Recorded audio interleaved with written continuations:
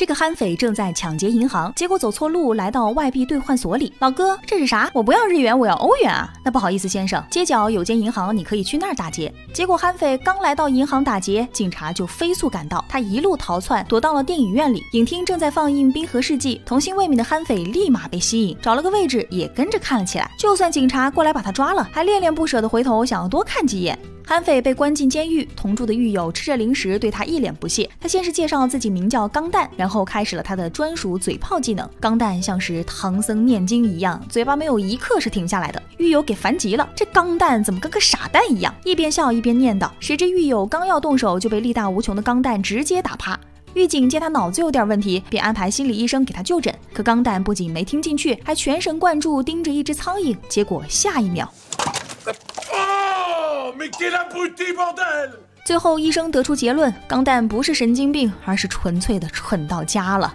没过多久，钢蛋迎来了新狱友李阳。对方一天到晚不说话，只会盯着墙壁发呆。不知道的还以为和钢蛋一样，哪里也少根筋。但其实李阳是一名杀手，之所以入狱，都是因为他勾搭上了黑帮老大的老婆。黑帮老大知道事实后，更是狠心的把老婆灭口埋了起来。而李阳为了替爱人复仇，趁着黑帮成员抢劫运钞车时，中途抢下他们的生意，拿走了老大的两千万赃款。谁知警察已经赶到，把李阳给关进了监狱。而警方为了逼他说出赃款的位置，这才把钢蛋安排跟他住一间牢房。为的就是让李阳烦到说出赃款位置。一天天的嘴炮洗礼下，李阳终于受不了，选择割腕住进病院。可难得有人愿意听自己念叨这么久，钢蛋早就把李阳当成了朋友。为了跟李阳再次住在一起，他也选择割腕搬来了病院。这可真是个好兄弟呀！李阳被绑在病床上，因为给心理医生当做神经病，他要被实行脑叶切除手术。就在医生要给李阳注射麻醉剂时，他猛地抬头：“我出十万，帮我逃出监狱。”医生被钱打动，他按照李昂的指示找到了黑帮老大。原来李昂是要让黑帮老大替自己出钱。老大这一听，你个好家伙，抢了老子两千万，现在还要老子替你出十万救你出来？可没有办法，要是不帮李昂逃出来，老大的两千万就要打水漂了。安排好计划后，医生准备带着李昂越狱。可找了李昂两天的钢蛋，也打算带他越狱去开间小酒吧过日子。只见一架升降舱从天而降，钢蛋立马把李昂推了进去，带着两人翻出了围墙。可就在这时，警察来了，操控升。升降舱的司机怕给抓，丢下两人在半空就撒腿跑了。没有办法，李阳和钢蛋只好跳上警车，可把里面的警探给看傻了。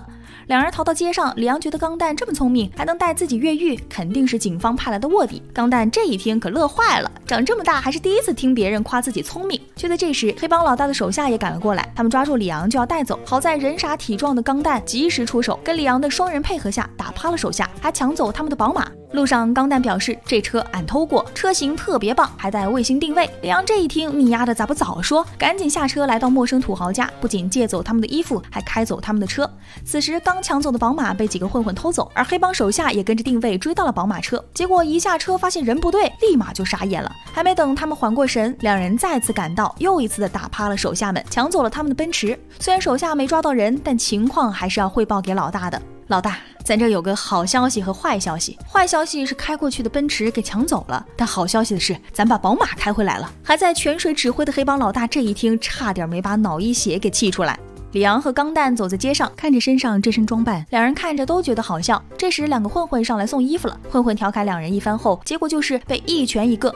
可两人还没走多久，就被巡警发现。就在李阳要给逮捕时，钢蛋再次跳出来打晕了巡警。就在以为安全时，巡警突然朝李阳开了一枪，而这也导致了两人不仅要开着警车跑路，钢蛋还要给中枪的李阳找药治疗。可开这辆抢来的警车实在是太显眼了，李阳赶紧让钢蛋去偷辆新车。谁知钢蛋偷到一半就被警察逮住。就在下一秒，钢蛋又多开了一辆警车回来，李阳人都傻了。老子挨个枪就已经够痛了，你现在偷了两辆警车，是想让我头？也痛吗？还好，一个路人司机错把他们当成警察来问路，这才让两人换上了普通轿车。钢蛋从药店里买来药，带着里昂躲进破烂的小酒吧里为其治疗。钢蛋表示，等麻烦解决了，就把这酒吧买下来，到时他们可要当老板的呀。而李阳则表示，自己隔天先取来两千万赃款来做启动资金，再去单枪匹马的解决黑帮老大。